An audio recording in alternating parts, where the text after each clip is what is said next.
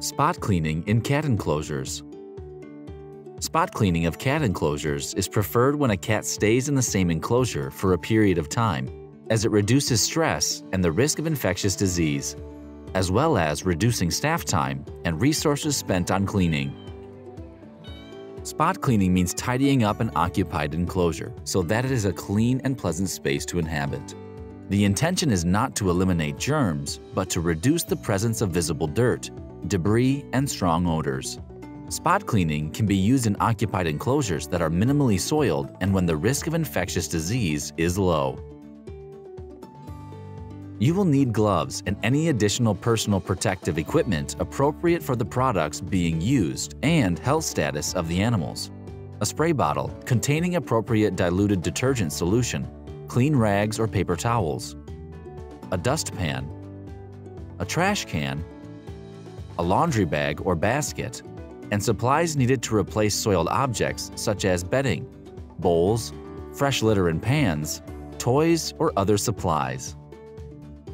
Inspect each enclosure in the area to determine which sanitation approach is appropriate. Minimally soiled, occupied enclosures should be spot cleaned. Spot cleaning will be performed in each enclosure before moving on to clean another enclosure. Empty, clean enclosures should be skipped. If large areas of an enclosure are soiled or malodorous, spot cleaning is not appropriate. In these instances, the entire enclosure should be cleaned. Please refer to the cleaning and disinfection of cat enclosures video. Prior to opening the enclosure, observe the cat for physical and behavioral health conditions. If concerns are present, report concerns according to your agency's protocols and reevaluate whether spot cleaning is indicated. Remember to keep stress levels low for surrounding cats throughout the cleaning process by minimizing door clanging, loud chatter, and other ambient noise. Gently coax the cat through the portal to the other side of the enclosure. Close the portal door, ensuring you have minimal contact with the cat. If needed, a small food treat may be offered to encourage the cat to remain on one side while the portal door is closed. Alternatively, a cat carrier or den can be used to contain or move a cat with minimal contact. Do not force a cat into the den. Instead, gently close the gate if the cat is already inside, or after enticing the cat into the box with a toy or treat.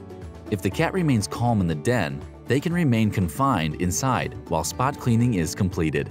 Otherwise, close the portal door and open the den to allow the cat to exit.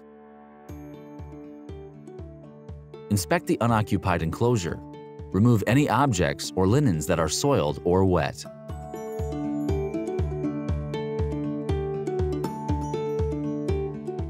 Bedding or objects that are not soiled should be retained and should be placed to the side. Using a clean dry or slightly damp rag, sweep any loose debris from the enclosure floor into a dustpan. Inspect the enclosure floor, walls, ceiling, and door for areas with smeared or dried debris. Spray a clean rag or scrub brush with a small amount of detergent solution and scrub any soiled areas. Wipe soiled areas until they are visibly clean. There is no specific contact time required when spot cleaning, but allowing dried debris to soak for a few minutes may facilitate scrubbing.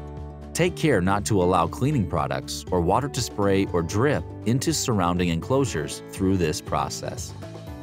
Rinse the clean surfaces with a wet rag or towel. Though areas may be wet, the enclosure should be visibly clean at this time.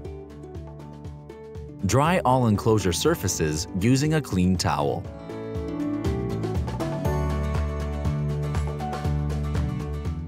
Once the enclosure is dry, Replace any objects previously removed such as bedding, toys, or water dishes, and set up the enclosure. Open the portal door and entice the cat to approach using a toy or small food treat. Once the cat moves, close the portal door in preparation for spot cleaning the opposite side. Again, ensuring as little contact as possible with the cat. A cat carrier or den may be used if needed. Repeat this sequence in each occupied enclosure. cleaning each enclosure no more than necessary to produce a visibly clean and comfortable enclosure. Remember to open the portal door and replace your gloves before moving to the next enclosure.